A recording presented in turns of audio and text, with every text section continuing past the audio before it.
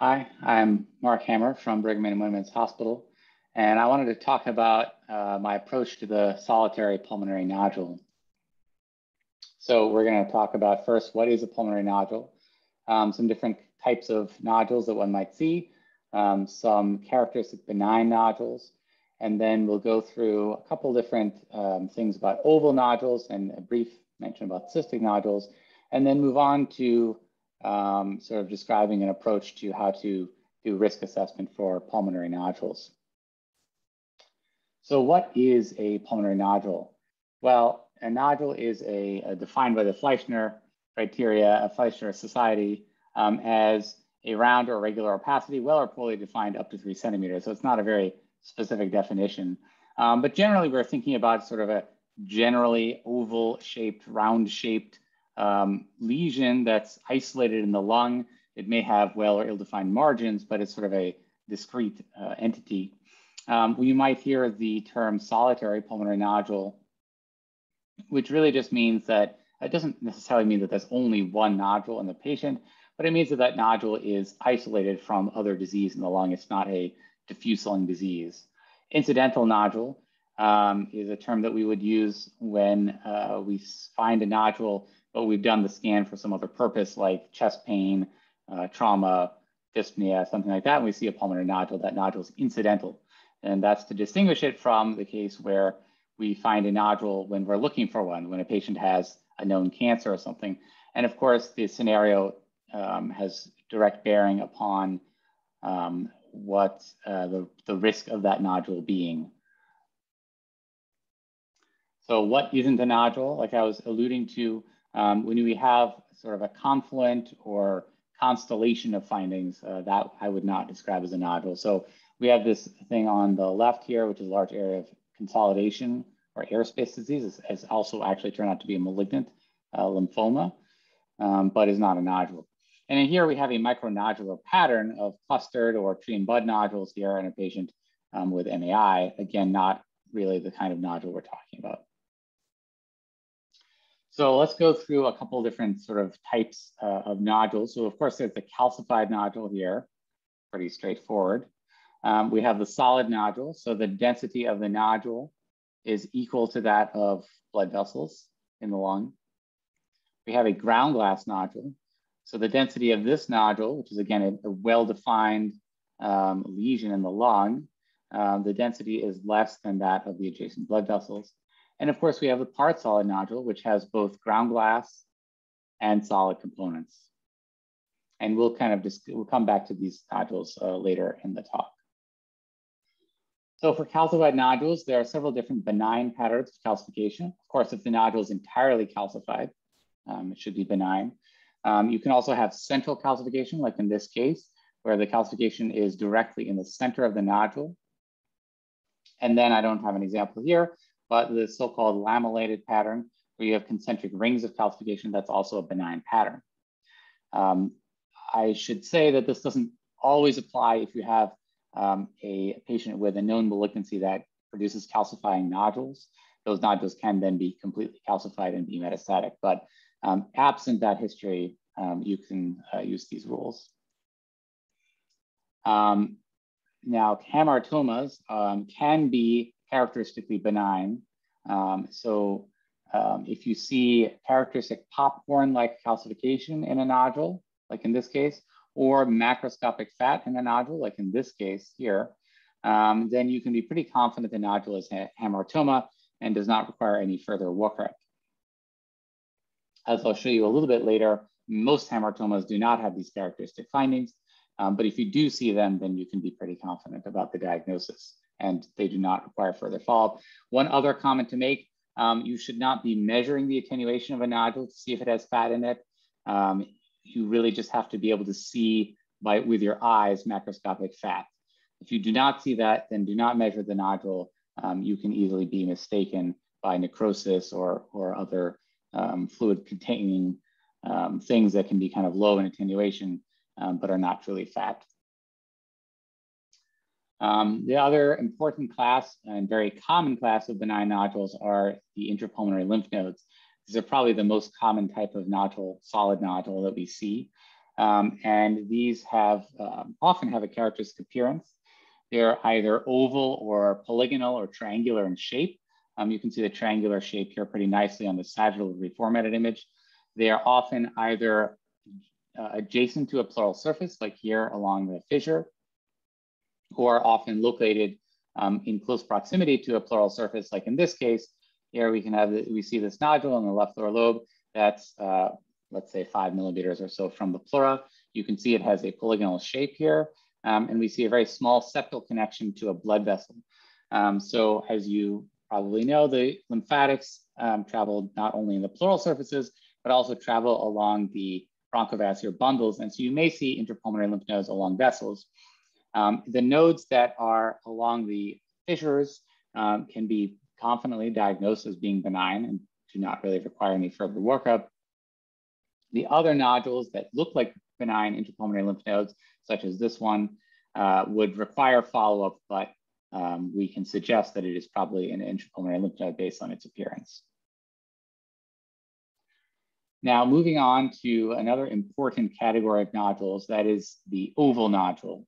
Um, the oval, well-circumscribed, smooth nodule is a pretty common entity. Some of these do represent intrapulmonary lymph nodes, of course, um, but there are other, sort of putting that category aside, there are several other entities that can give you oval nodules um, that you should be aware of. The first is the hamartoma. So here is an example of a hamartoma that did not have calcification or fat uh, mac macroscopically uh, by imaging. And this was proven by surgical resection. So most hamartomas will be of this category um, where they're you know, indeterminate based on CT and would require uh, biopsy or surgical resection to prove that they're benign. Um, these generally do not have any uptake on PET, so that could be helpful. Um, but usually, um, these do usually go to some kind of pathologic confirmation. Um, the carcinoid tumor is another uh, lesion that causes, that generally presents as an oval nodule. So some carcinoids will present as endobronchial lesions.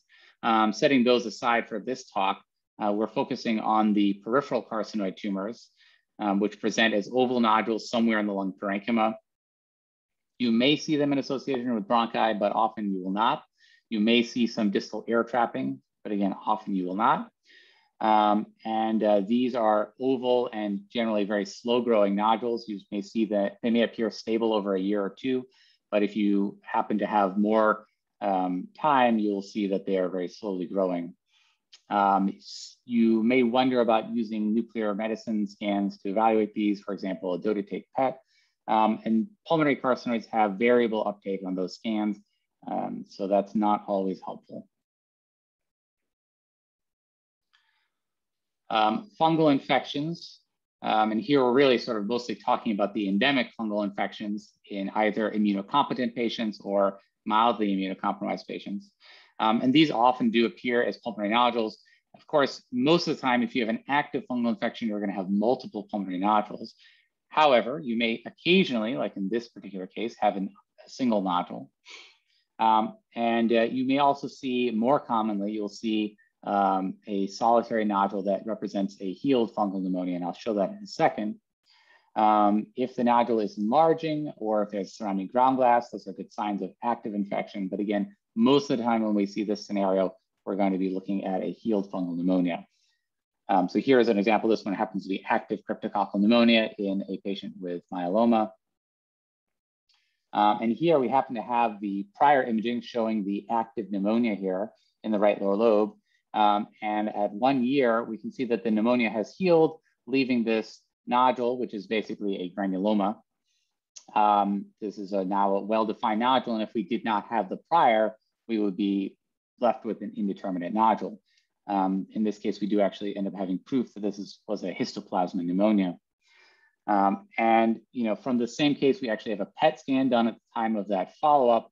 And the PET scan shows, FDG PET in this case, shows some mild uptake in the uh, nodule itself and actually greater uptake in a hilar lymph nodes. This is also a very common setting. Um, there's usually uh, reactive uh, lymphadenopathy in patients with fungal pneumonias. Um, and the FDG uptake will remain for a long time in these patients. Um, so do not be dissuaded by that uh, necessarily, although of course, if you don't have a prior study, uh, then you're left with calling it, of course, indeterminate, um, or you may even be more worried based on the lymphadenopathy. But again, just be aware that um, FDG uptake in hilar lymph nodes is not at all uncommon in uh, healed fungal pneumonia. Now, very rarely lung cancers can present as an oval nodule. And here we have one example of this. It was a slowly growing nodule. Um, you can see on the follow-up, there is some lobulation to the contour here, but otherwise it's pretty much a solid oval nodule. Um, and, uh, and this turned out to be an adenocarcinoma. So, but that's a very uncommon presentation of lung cancer.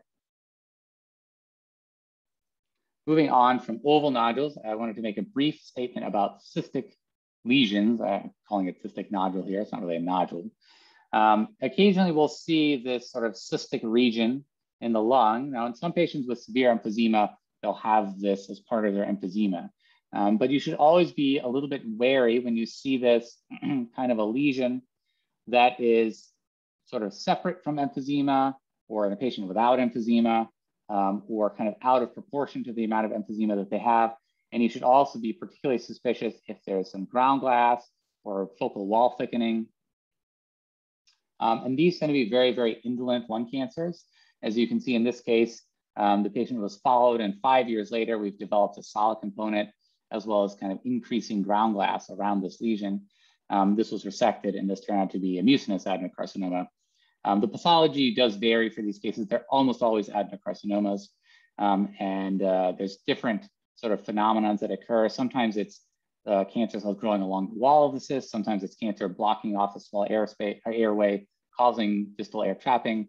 Um, but anyway, in either case, if you see a focal cystic lesion like this, um, you should probably continue to follow it um, because a decent number of these do progress to lung cancer. Okay, so moving on from specific scenarios, um, let's say that you're that you do not have a specific benign feature. Um, how are you going to go about addressing the um, risk and kind of uh, management of an indeterminate nodule? Um, so remember a few things.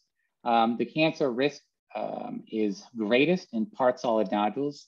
When I say that, I mean persistent part solid nodules. So if it's not an inflammatory nodule that it persists over time, the cancer risk is greatest in part solid nodules, followed by ground glass nodules and followed then by solid nodules. Again, remember that most solid nodules turn out to be intrapulmonary lymph nodes. Um, you may uh, use the morphology of the nodule itself. So we can see this nodule has a lobulated contour, some maybe some even a little bit of spiculation here. Um, and obviously it's also a large nodule, right? Size, the larger the nodule, the more likely it is to be malignant. Um, and so you would certainly be very suspicious of this nodule, which turned out to be a squamous cell carcinoma. Um, absent those things, um, and if you have less experience or, or, just not sure where to put the nodule, um, you might use some risk calculators. Uh, the best known of these is the calculator developed by Brock University in Canada.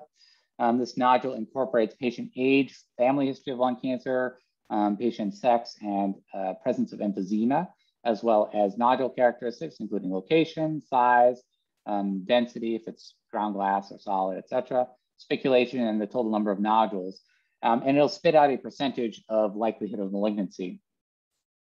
And so this can help you potentially triage nodules, again, if you're, particularly if you're less experienced in looking at um, morphology of nodules.